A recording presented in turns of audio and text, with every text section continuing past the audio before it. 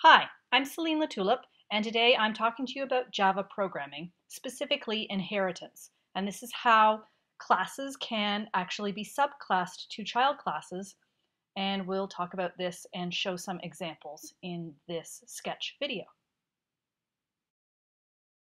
Let's go through this example, and we're going to create a class. And the class that we're going to create is going to be for a shape. So you see here I've got a sort of a template here for classes. Every class has a constructor, fields, and methods. So the constructor for shape is going to be public shape, and it's not going to, there. That's the stuff that happens inside of the constructor. And then the fields of shape, well, any shape is going to have um, line color and fill color and line width. So fields, we're going to make them private.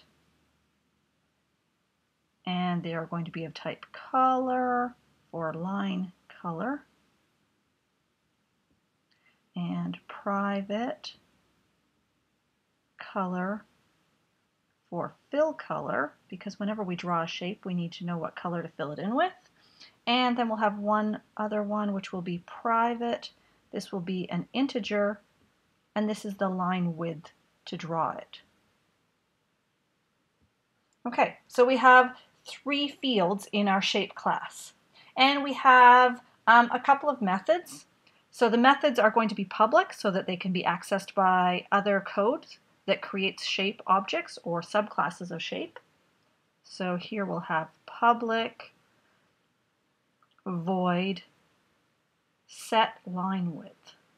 So this is what's called a setter and it allows us to change the line width field. So I'm not showing you what's inside the method.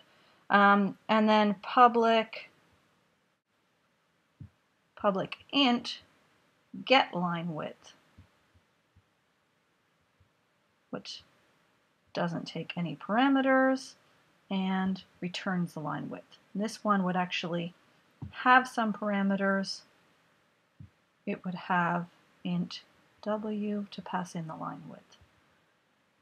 Okay, so that's our shape class. There'd actually be a whole bunch other methods. We'd have getters and setters for the fill color and the line color and possibly some other methods in shape, but I'm not going to draw them all out here.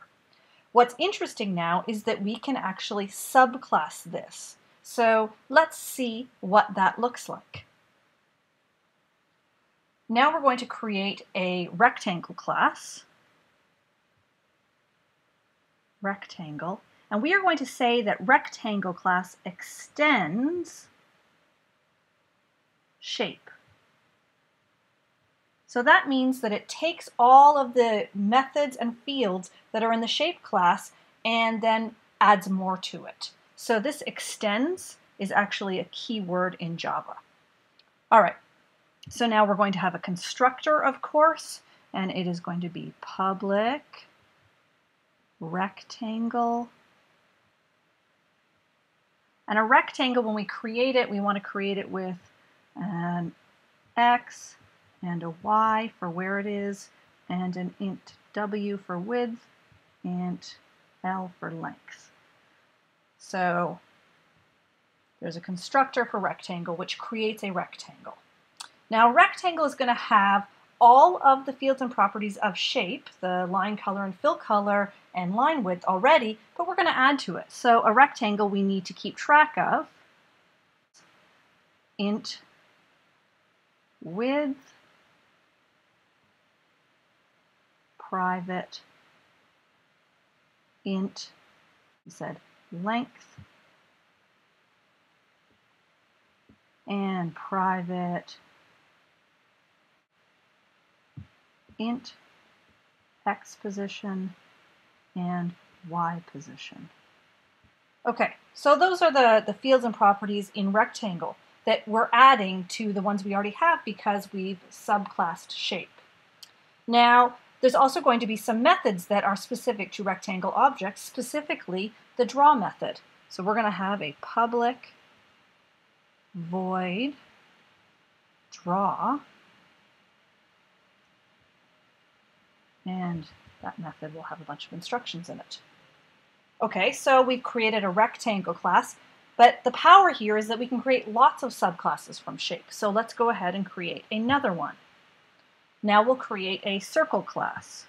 Circle extends shape.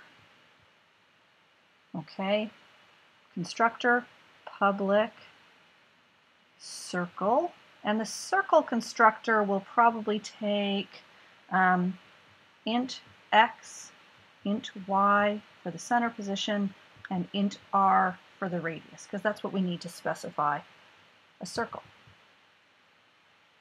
Circle is also going to have some of its own fields, so we'll have private int center x, private int center y, and private int radius. So those are the things that we need to keep track of inside circle objects. And of course, a circle object is also going to have methods. Again, we're going to give it a draw method. So public void draw. There we go. So now we have these two subclasses, circle and rectangle, that extend the parent class shape. So now we can actually go ahead and use these. So let's see what happens. Let's actually create a circle. So to create a circle, we would do circle my c equals new circle, and we need to send in the parameters. Let's say we want it at 100, 200, and we want it to have a radius of 50. There we go. So that's going to create a circle for us. What's actually going to happen is that this is going to call the constructor for the circle class. So what does the constructor for the circle class actually look like? Well, it looks like this. Public circle int x int y int r. And inside of the constructor, we do a couple of things. First of all, we assign center x. We grab that x parameter. Center y gets assigned the value of the y parameter. Radius gets assigned the value of the r parameter. So now we've got those. But then something special happens. There's a piece of code that says super. And this is a special keyword in Java that says call that parent constructor. So this is going to call the shape constructor. And what does the shape constructor do? Well, I'm not going to write it out, but it would do things like set default line width, maybe to 2, um, line color, maybe gets assigned color dot black, and so on. So now we've created a circle, and in creating a circle, we've actually everything the shape class gives you, and also the stuff that the circle class gives you. Now we can actually do interesting things with this myCirc object. So with myCirc object, I can call methods from the shape class, like setLineWidth. Now remember, setLineWidth is not defined in circle, but I can say set line width to 4 because circle inherits from shape, and so we get all those methods. I can also call the stuff that's specific to circles. So my circ dot draw. And this will use the circles drawing method. Now, the rectangle uh, class also has a drawing method with the same title, but it would only get called if you'd created a rectangle object. We created a circle object, so the circles draw method will get called. So this hopefully shows you the benefit of inheritance in object-oriented programming um, that you can put some stuff that's common to a bunch of different types of things in a parent class, and then create these child subclasses of it that give you all the common stuff and allow you to add some stuff that's specific.